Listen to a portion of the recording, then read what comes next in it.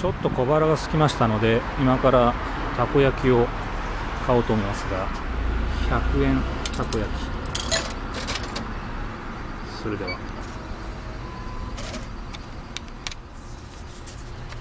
100円です。ありますか？あ今すぐあります？ありますか？はい。はい。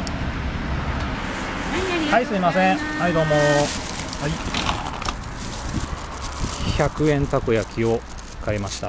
100円ですのでね。それではこんな感じで12345 6個たこ焼きが入ってます。それではいただきます。100円なんでタコが入ってないんじゃないかとタコ出してみました。こんなタコです。紅生姜も全部鰹節も入ってますが100円。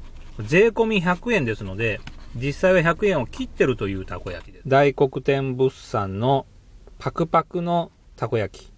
100円です。それでは